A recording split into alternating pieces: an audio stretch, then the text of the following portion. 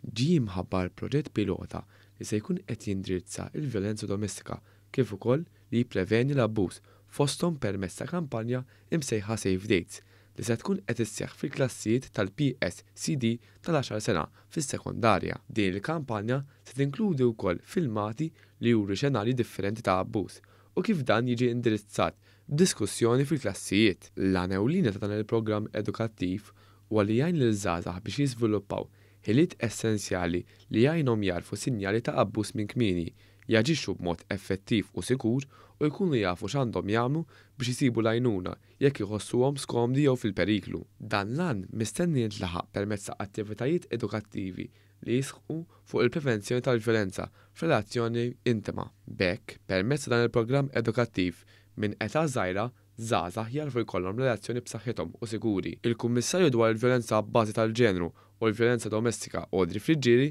spjegat li skont riċerka li saret fl-Istati Uniti, dan il-programm kien tassew effettiv fil-prevenzjoni tal-abbuż waqt li żgħażagħ jibdew joħorġu flimkien. Hija spjegat li l-Kummissjoni se tkun qed tevalwa l-informazzjoni minn dan il-proġett pilota sabiex tiddeċiedi kienx effettiv jew le.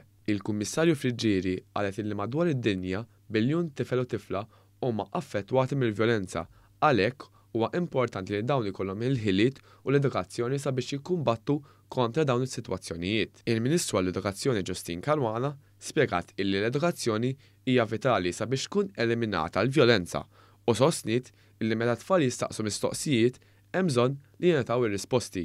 Min-naħa tiegħu, il-Ministru għall-Ugwaljanza Owen Bonnici sostna li permezz ta' dan il-proġett pilota, il-Gvern qed ikompli juri biċ-ċar kemm huwa kontra kull tip ta' vjolenza domestika u stqarr li l-appell lill-vittmi huwa li l-vuċi tagħhom trid tinstema'.